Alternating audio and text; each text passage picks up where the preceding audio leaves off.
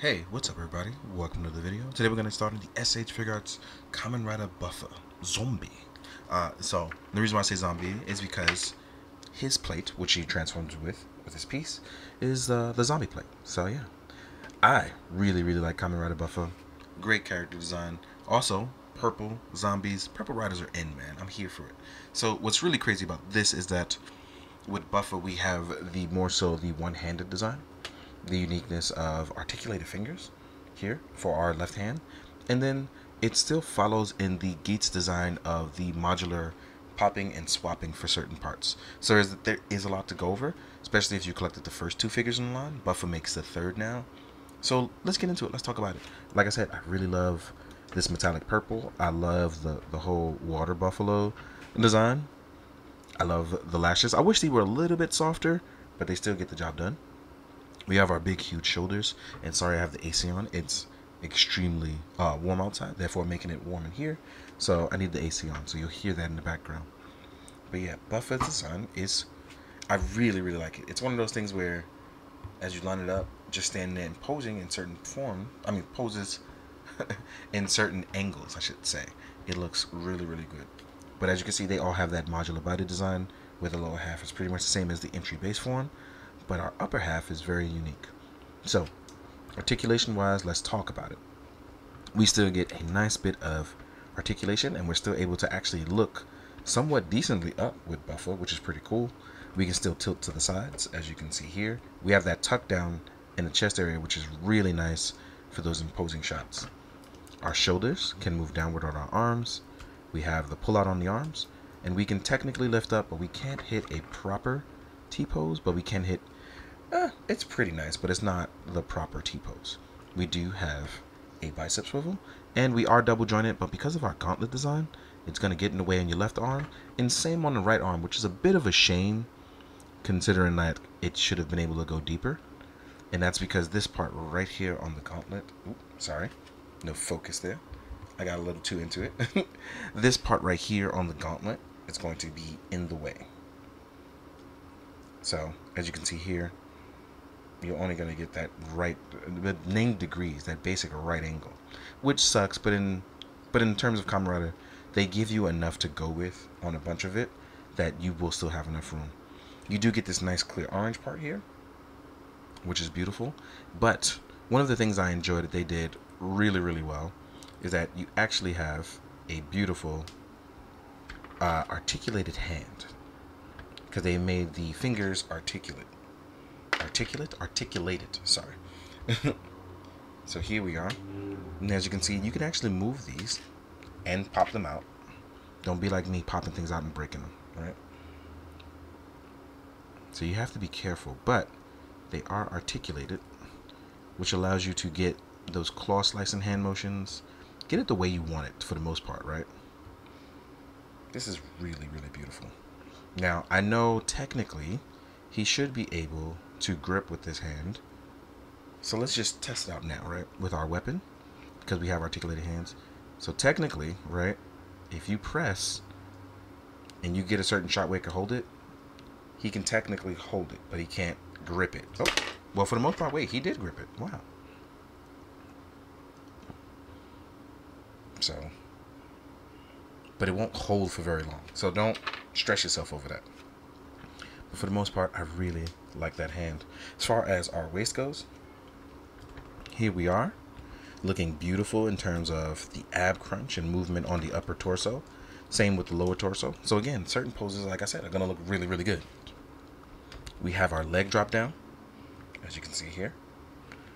That means raising the leg up will allow for maximum movement, and as Ryan Reynolds would say, maximum effort. See? So we have a ton of ways for articulation and movement. And we look really good along the way. We have our soft goods skirt, which is soft plastic and not actually soft goods. That's why I call it the soft goods skirt because it's still soft plastic and movable. You do have generous ankle pivot, as you can see here. You do have toe hinge. We can rotate left and right. And we do have thigh swivel as well. So posing this guy up shouldn't be an issue he should look good in most, if not all, poses.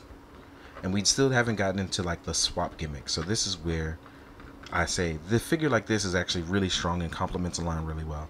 Because if something like this is done well, by the time you get to the gimmick, it gets to be even more fun for you.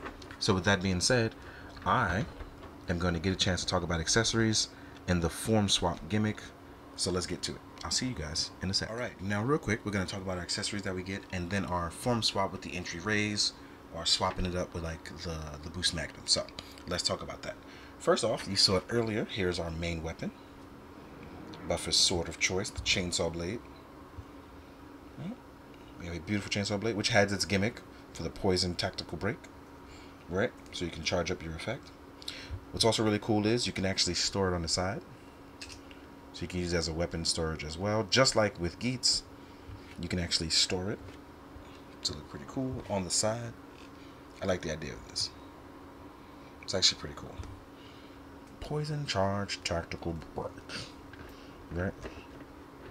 So we got our Buffa, handing out Buffa slaps. I gotta plug that hand back in, make sure it's in there nice and good. And yeah, so there we are with that. You stay right there.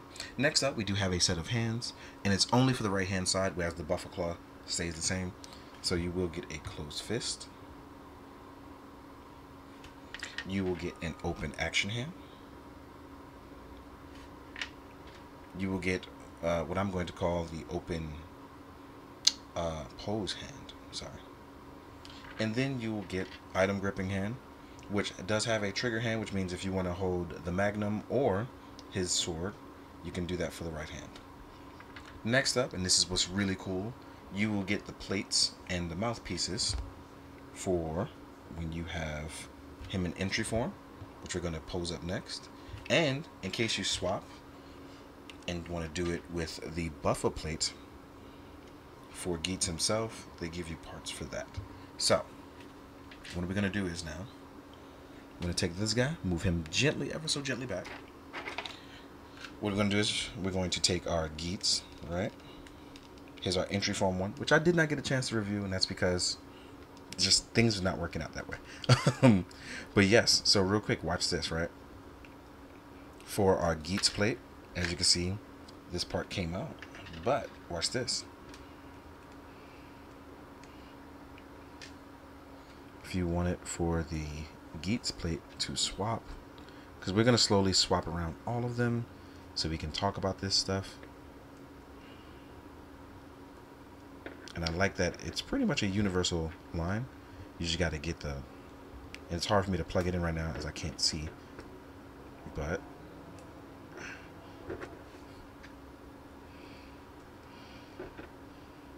Oh, did I do it backwards? I may have did it backwards, but yeah, I did it backwards. But as you can see there, the plate is there.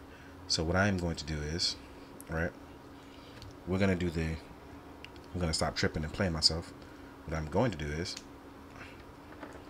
I'm to take out all the pieces for Geats. As you can see here for the entry raise. Took off all those parts. So first thing I'm going to do is I'm going to work my way backwards. We're going to make the entry raise form for Buffa. Which means popping out our torso, like here we're going to take our lower torso with us, right? So that way we have our lower torso. But we're going to keep the upper torso of the raised form.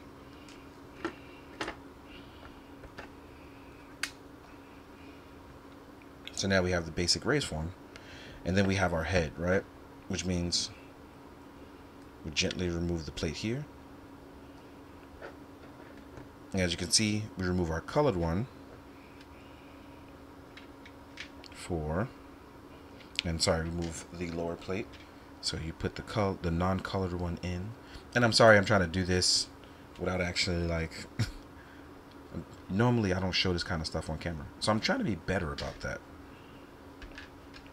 Which I'm driving myself crazy over it, honestly. Because I'm, I'm forgetting plates and parts. There we go. And then we follow up with our top piece.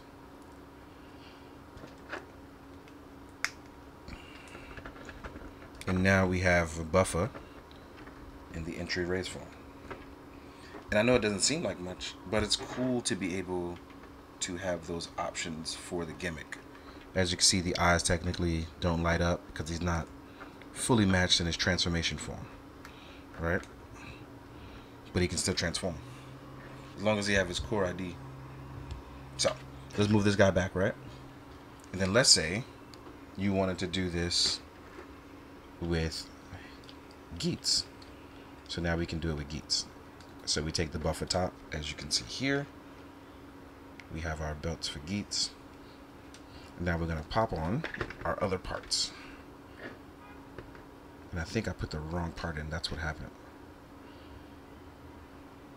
Is this the right piece? Yes, I think this one is. I think that's what I messed up from before.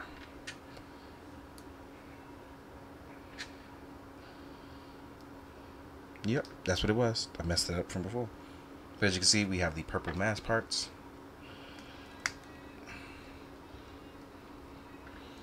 And let's actually pop this in.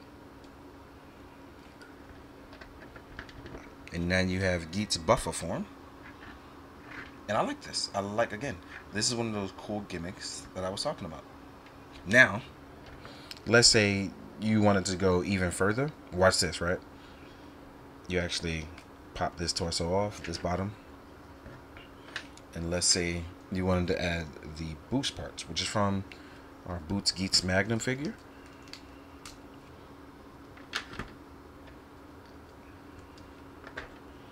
And so far you can mix and match now and make a bunch of different combinations. Which for me, I really like the idea of this. Like mixing and matching, crossing it over, having a bit of fun. Look at that. Which means technically if you have more than one of each figure, you can do this. Like and have a ton of fun mixing and matching because they've actually done that in the show as well. So keep this part in mind. So now what I'm going to do off camera, I'm going to put these guys back to normal so we can use them in our size comparison. So I'll see you guys in a little bit. It'll be half a second for you and probably five minutes for me. All right, now we're going to jump into these size comparisons. As you saw with the swapping of bodies and things like that, I'm obviously going to compare first to Geats himself. So I'm going to do both the Boost Magnum and the entry raise form so you can see what you're getting into as you kind of compare up all the bodies, right? So this is Boost Magnum, and here is our entry raise form.